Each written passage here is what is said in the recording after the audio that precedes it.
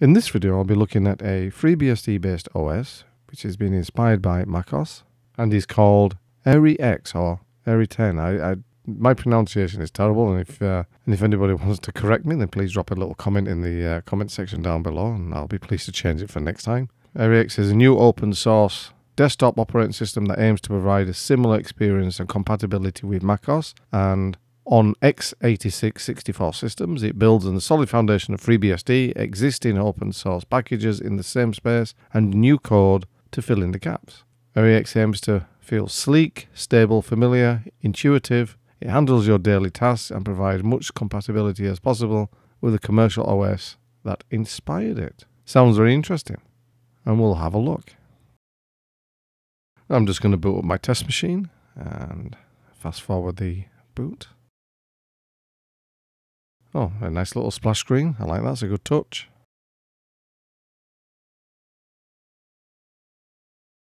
And wow, that looks nice. That looks great. I'm not one for the just the, the general aesthetics of something, but that is a nice uh, nice bit of wallpaper. Very reminiscent of something like Windows XP in the old days. Uh, everything's in place. Let's have a look in. So on the top row here, we have a, a menu, pull down menu, no doubt. I've got File, Edit, View, Go, Bookmarks, Tool, and Help. And across there, you got a little uh, Show Hidden Notifications and Status. Um, clipboard and night color control. Display configuration. Very nice. Yeah, very fancy. And you've got battery and brightness. You, obviously, you got your calendar and your clock, and there's your clock. Pulls down the same calendar, and a little notification like "Do not disturb," etc. And your wallpaper, if you right click, a great folder. It's all the usual things that you get, and desktop preferences. Oh, very nice, nice and simple. You can change wallpaper, etc. Hmm.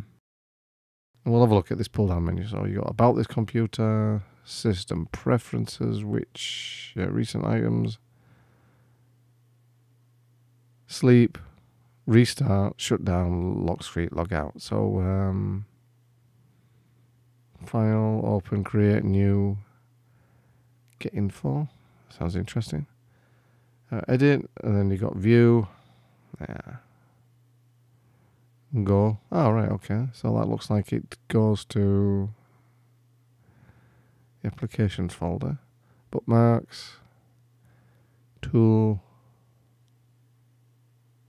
about. Okay, that's good.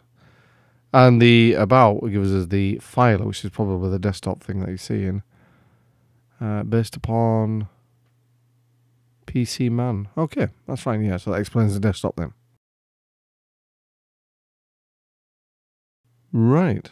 So next we'll have a look at uh, about. That's a nice little about screen. Tells you the, the test machine specs, and it's Tanuki's the uh, the code name of this release. That's a cute little picture. I like that. It's all looking and feeling very uh, very slick at the moment. There wasn't a line on the description in the the homepage about it being a very sleek and smooth experience. It uh, certainly is you can't convey that in, in, a video, of course, when you, know, you have to feel the OS yourself, but they seem to have done a very good job so far.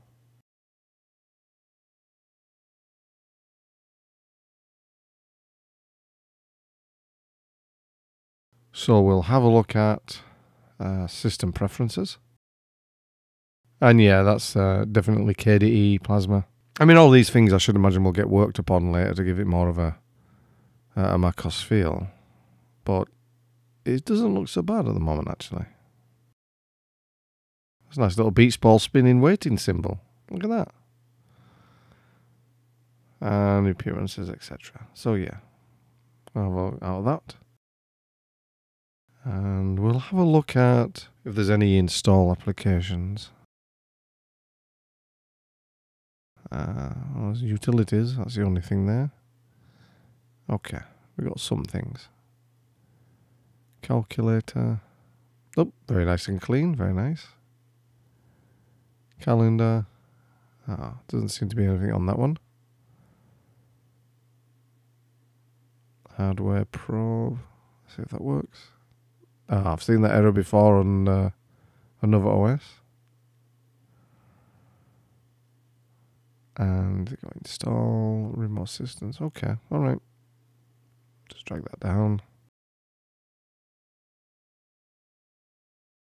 Okie dokie. Let's have a look. Uh, right, okay. What I'm going to do now is I'm going to just, uh, the networking's fine. Picked it up. This is good. Sometimes I have a problem on this uh, test machine. It doesn't always automatically. Uh, oh, what was that? Oh. Makes the window go all funny when you go to the top left. That's nice. It's weird. Let's open up a new uh, window, see what it does. Ah, very nice. Let's see if it shifts windows. Okay. Yeah, it's really nice and smooth. I like that. That is really nice. Hmm.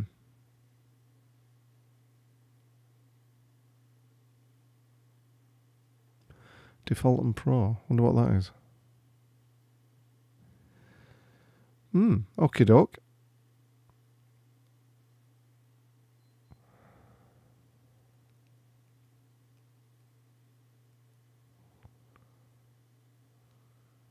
And the global menu actually, yeah, like I thought, it the global menu applies to each particular window that you've got in the forefront. So if you're not used macOS, it can be a little bit, a little bit strange. I will just close that down. Okay, and yeah, I mean that's I think that's about all for the moment. Uh, we'll uh, log out. No, we'll shut down. Oh, I like that as well. That's really nice. Try again. It's the little things that please me. Yeah, I like the way it fades out. That is really, really nice. Well, I mean, you know, this is uh, my experience with macOS is uh, very limited, so I wouldn't know uh, how accurate this is. But it seems to be really, really nice. I think it's um, it's extremely pleasing to the eye. If you want a, a visual experience, I think it looks great. I think everything from the about screen graphics to the desktop, to the theming, to the the, the logout screen, the way it fades and it, it, it looks it looks it looks great. I think this is this is a great time for FreeBSD. I think we're getting uh, of course you've got Hello System, and then you've got Cult BSD, which I reviewed in the last video, and now you've got this, which is AiryX, Every 10. You know, and someone's gonna have to tell me how you pronounce it. I am terrible with uh, pronouncing words, but yeah, it, yeah. So we got three MacOS style or inspired OSs based on FreeBSD, and that's brilliant. And I said this is also like the previous video. This is this OS is uh, pre-alpha, so plenty of work to do, plenty of uh, improvements, and plenty of refinement. And hopefully, uh, the developer will stick at it. I think she will. Um, we're all leading busy lives, so I mean, you know, we do it when we can in the spare time. But even if it's only little bits at a time, it's still it's still welcome and more the better, more the merrier, as they say. Anyway, this is just a quick look. I know people will be saying, "Why don't you doing more in depth?" But you know, but it looking it is looking very good. So uh, kudos to the developer, excellent work, and uh, it's one that we'll be keeping an eye on for uh, for next time, I think. Anyway, thanks for watching, and I'll catch you next time.